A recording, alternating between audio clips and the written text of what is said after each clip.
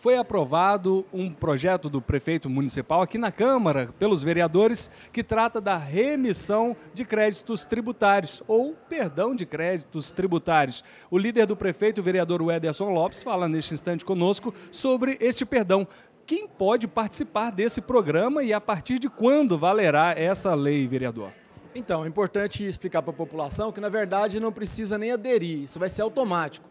Então, aquelas pessoas que têm dívidas ajuizadas até o ano de 2014, é, que estão ajuizadas, serão perdoadas. Então, hoje a Câmara Municipal ela está autorizando o Executivo a perdoar essas dívidas, a fazer a remissão dessas dívidas.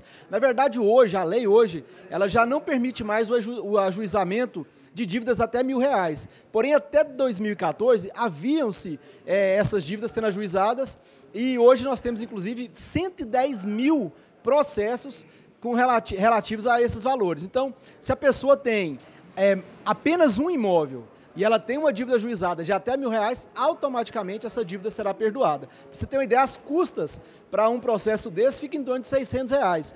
Então é algo que realmente não se justifica. É, estamos fazendo uma correção para que haja também um alívio né, no, nos, nos processos ajuizados e trazendo essa, essa perdão para a população que tem essa, essa dívida juizada de até mil reais até o exercício de 2014.